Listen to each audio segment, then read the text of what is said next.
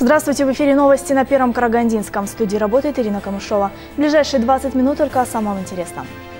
Двое несовершеннолетних покончили жизнь самоубийством в поселке в Карагандинской области. Сегодня в Караганде приземлился спускаемый аппарат «Союз». Карагандинский шахтер впервые стал обладателем Кубка Казахстана по футболу. Сразу двое несовершеннолетних покончили жизнь самоубийством в Бухаржирауском районе. Трагедия произошла в поселке Березники. Школьников нашли повешенными в разных частях населенного пункта. Все подробности в следующем сюжете. Березники в шоке. Сразу два подростка свели счеты с жизнью. Рано утром 8 ноября в собственном сарае жительница села обнаружила своего 14-летнего сына повешенным. Реймбек Телехан покончил с собой, накинув веревку на балку перекрытия. Спустя несколько часов лесопосадки на окраине села был обнаружен повешенным и 15-летний Нурлан Семирбек, друг и одноклассник первого мальчика. Тело своего сына обнаружил отправившийся на его поиски отец. Только что похоронили ребенка Тлейхана Реймбека все село скорбит. Все соболезнования приносят родителям. Обе родители, это, я даже не могу сказать, это родители, которые очень трудолюбивые люди, порядочные. И воспитание, это многодетные дети. У, с обоих сторон ничего, даже никто не предвидел такого. Это друзья с первого класса. Это все им завидовали, какие у них дружеские отношения были. Сабақтары өте үлгерімдері жақсы нұрлан сынып сынып бастығы болған Хорошие мальчики были. Нурлан был старостой в классе. У обоих оценки только четверки и пятерки. Оба подростка из благополучных многодетных семей. В школе учились хорошо, занимались спортом. Районный участковый инспектор охарактеризовал каждого положительно. В то, что такое могло произойти здесь, никто не может поверить. Они себя характеризуют очень положительно, э, учатся хорошо. Э, вот это за первый четверть они э, пропусков занятий не имеют, так как они на учете внутришкольным не значатся.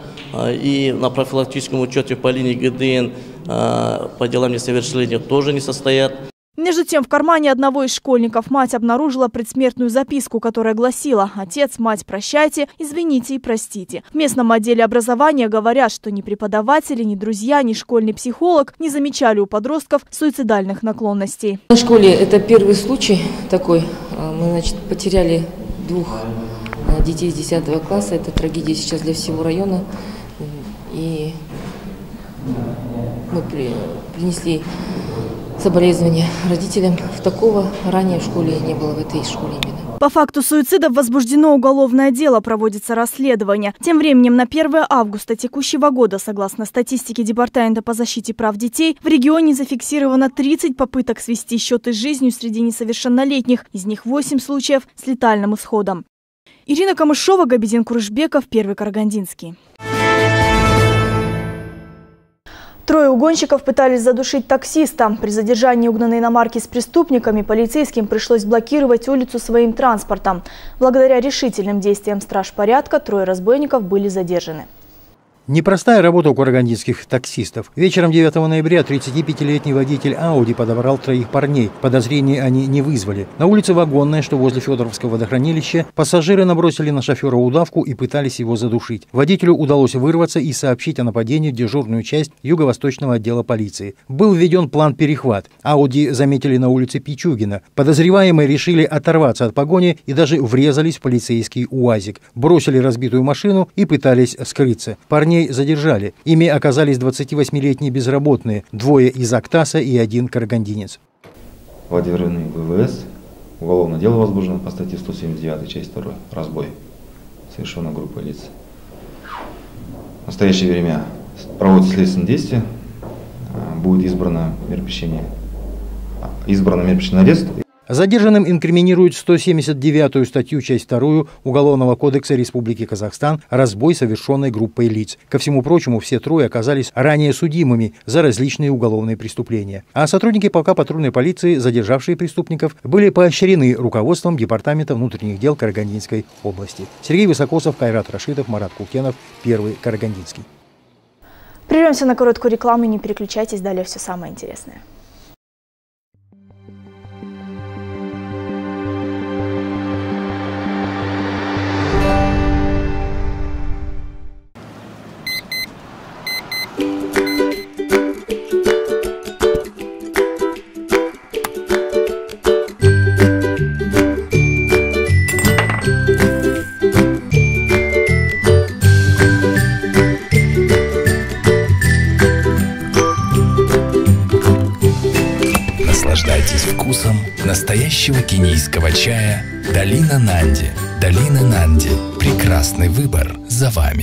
Заниматься любимым делом и получать за это достойную плату, что может быть лучше? Впервые в Караганде мы предлагаем углубленный курс менеджера по туризму и директорские курсы «Стартап в турбизнесе». Программа курса включает работу с клиентами, калькуляция индивидуальных туров, работу с готовыми турпакетами, документооборот при оформлении тура, паспортно-визовые формальности, правила лицензирования и многое другое. Углубленное изучение позволяет работать сразу после окончания курса на уровне профессионального менеджера с опытом работы работы или директора турфирмы. По завершению курса выдается сертификат. Набор ограничен. Справки по телефонам 97 47 42 8 702 155 98 20.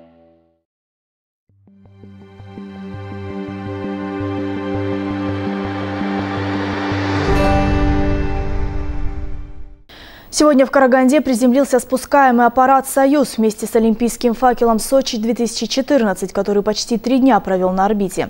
Все трое космонавтов чувствуют себя нормально, даже успевая шутить. Подробности в сюжете нашего корреспондента. Космический корабль был выведен на орбиту 29 мая текущего года и вернулся на Землю только сегодня. Он приземлился неподалеку от Джесказгана. Всех троих покорителей космоса встречали в Карагандинском аэропорту Сараарка. Поздравляю вас с благополучным возвращением на землю, на благодатную землю Казахстана. Благодатная земля Казахстана, как обычно, тепло встречает. Сегодня была великолепная погода. Вы хорошо выполнили полетное задание основное, которое у вас было. Ну и вы выполнили еще и дополнительное задание. Вы сегодня привезли Олимпийский парк. Самым опытным членом экипажа стал россиянин Федор Юрчихин. Это его четвертый полет. Американка Карен Найберг побывала в космосе уже второй раз. А вот Лука Пармитана из Италии стал дебютантом. Здесь Фагил действительно побывал в космосе, мы об этом узнали сегодня.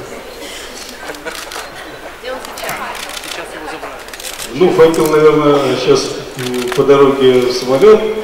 Сами понимаете, опять же, с точки зрения возвращения из космоса, я же не могу его все время с собой носить. Федор Юрчихин никогда не думал о том, что олимпийский факел окажется столь тяжелым. Космонавт также отметил, что огонь Олимпиады имеет большое значение для всего мира. Мы его не зажигали, у нас запрещено зажигать У нас есть единственная камера, в которой можно э, проводить опыты с огнем. Это в НАСАском сегменте, да, в тестине. Есть такая камера, вот, вы туда подъехали, ну, тоже же интересно, мы же такие же люди, как вы, что вы думаете? Начальника слушаемся, нет? Значит, но он туда не влазит. Все космонавты получили слова благодарности от Акима города Мирама Смоголова. В качестве подарка им были вручены традиционные домбра и чапан. Николай Кровец, Габиден Курушпеков, Аскат Абидулов, Первый Карагандинский. Почти как на войне. У молодых ребят в руках боевое оружие, патроны всегда в запасе. минувшие выходные в Караганде прошла игра в пейнтбол. Впервые в ней принимали участие представительницы прекрасной половины человечества. Что из этого получилось, наблюдал Николай Кровец. Место для состязаний выбрали на окраине города, в здании заброшенной психиатрической больницы. Перед началом игры инструктор рассказывает о правилах и как правильно пользоваться оружием. Первый урок для девушки запомнится надолго.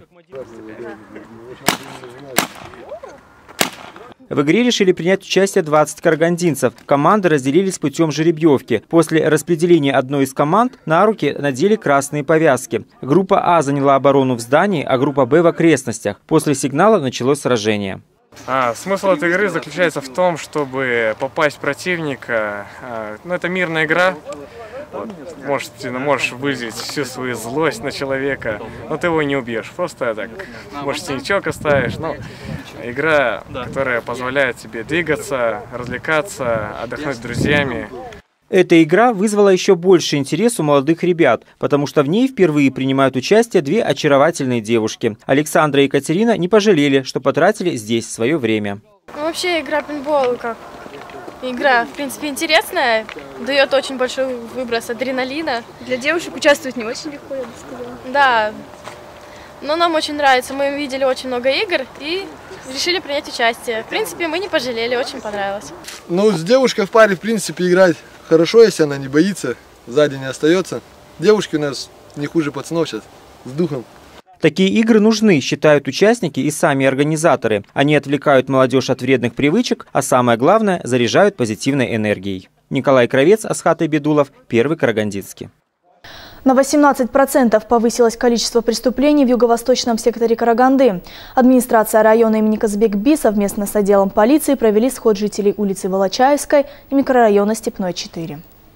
Хорошей традицией стало организовывать неформальные встречи населения с правоохранительными и административными структурами районов города. Прямое общение позволяет выяснить реальные нужды людей. Порой малые проблемы тянут за собой самые большие вопросы. Да и услышать оценку своей работы вне кабинета тоже не мешает. Сход проходил довольно бурно. Такие простые проблемы. Вот понятно, когда будет остановка. Можно отвечать? Когда остановка будет у нас?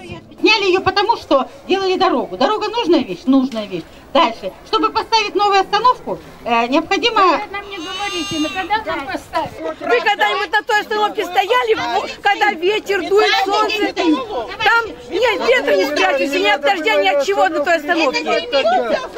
Такой натиск довольно сложно выдержать. Накипело у людей. Даже полицейским пришлось вступить в полемику. Насчет остановки мы обязательно направим письмо в Акимат города Караганды. Не районный Акимат, а Акимат города Караганды. Я думаю, без внимания ваша как его, э, жалоба не останется. Нерешенных вопросов накопилось достаточно много. Тут и тепло, и старые дедовские детские площадки, и вырубка сухих деревьев. Только КСК с таким количеством вопросов просто не в состоянии справиться. Каждый год в газете, по телевизору говорят, что наш двор на Волочаевской подлежит э, этому э, реконструкции всей. Но до сих пор никто не чешется, никто ничего не делает. Обратились жители и к полицейским. Только этим летом вычистили кушары, прошло несколько месяцев, и все опять по-старому. Дети боятся мимо них ходить. Облагородить, кушары вот эти все повыпиливать, кто должен? Ну, наверное. Там невозможно. Правительственная трасса, ездит президент, ездят премьеры. Прячься, стреляй, что хочешь делай. Протестуют жители и против стихийной дворовой автостоянки. Вот подъезд номер два, например, стоит две или три машины. И мы собственный подъезд проходим, балансируя, я не знаю как. Но большинство волнует воровство. Крадут из квартир и из тех же машин, оставленных во дворе. В двух или в трех квартирах воровство произошло. Днем? Днем, при, причем пол одиннадцатого утра вот, воровство было. А кража машин? Да, вот недавно. Были, были порезаны шины, у одного парня вообще сняли колеса, с той стороны колеса снимали. Порядок во дворах – дело общее, это понимают все, но есть вопросы, которые могут решать только власти. И улучшение качества нашей жизни в быту тоже немаловажная задача. В этом и состоит забота и уважение к карагандинцам. Для этого и собираются сходы.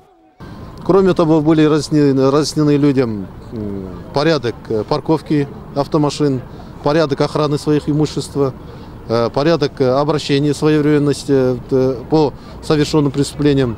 И также хочу обратиться жителям юго-восточного сектора, вообще города Караганды, охранять бережно свои имущества. Время все расставляет по своим местам. Вот только вопрос, как долго ждать? Благодарим за этот сход, что все-таки собрали здесь и, и Акимат, представители милиции, что много вопросов должно решиться. Но мы надеемся, что, что сегодня было сказано, будет выполнено, выполнено будет выполнено. Сергей Высокосов, Кайрат Рашитов, Марат Култенов, Первый Карагандинский. Вчера в нашем городе запускали в небо воздушных змеев. В этом интересном занятии приняли участие несколько десятков карагандинцев. Среди них и наш корреспондент Николай Кровец. О данном мероприятии карагандинцы узнали через интернет. Организаторы создали группу ВКонтакте под названием «Скучно жить не вредно». С детства один из организаторов мероприятия Владимир Носарев мечтал запустить воздушного змея в небо, но осуществить ее мог сравнительно недавно. Оказалось, что не только он мечтал об этом. Я вот с детства мечтал, с детства хотел, как первый раз довелось. То есть осуществил, так скажем, свою детскую мечту. Как видите, конечно, некоторые были обеими руками за, но в основном у нас люди такие, которые, так скажем, просто лень выходить куда-то в свой законный выходной. Анастасия Любчанская, когда узнала, что в нашем городе будет проходить необычное мероприятие, не только сама пришла, но и привела своих родных. Я очень счастлива. Мне, во-первых, я очень собиралась, работала, не могла прийти и позвала маму с братишкой. Очень попросила, чтобы они пришли. И они пришли и тоже здесь запускают змеев. И я убежала на часик с работы, потому что я очень хотела посмотреть. Надо просто проводить больше такого Но это намного интереснее, чем ходить по клубам. Для того, чтобы запустить воздушного змея в небо, в первую очередь нужно само сооружение и, самое главное, огромное желание. Очень даже интересно, очень заманчиво. Люди, я посмотрел, уже радуются и хотят, как и по продолжение. Запускать в небо воздушных змеев организаторы планируют еженедельно. Все зависит от того, сколько желающих карагандинцев захотят в нем участвовать. Николай Кровец, Сергей Высокосов, Первый Карагандинский. Сегодня весь мир отмечает День энергосбережения. Карагандинцы его тоже празднуют. В Политехническом университете продемонстрировали свои лучшие инновационные проекты по экономии и сохранению энергии. Продолжит Алина Акбаева.